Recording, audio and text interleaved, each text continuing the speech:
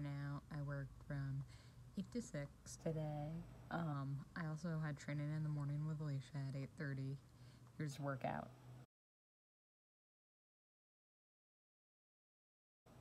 Um, for training, I did like a back and biceps circuit, and it was tough, but I completed it.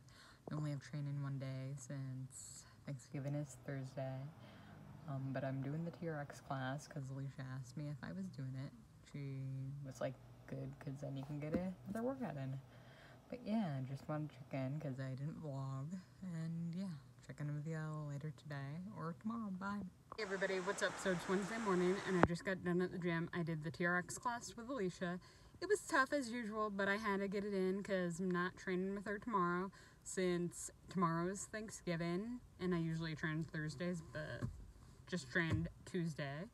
Um, but yeah, after TRX, did cardio, and right now I'm gonna wait for my dad and then gonna practice driving to Ledgewood because I need to drive on Monday to an allergy appointment at 2:30, and I haven't really driven to Ledgewood much. So yeah, checking in with y'all later today or tomorrow. Bye.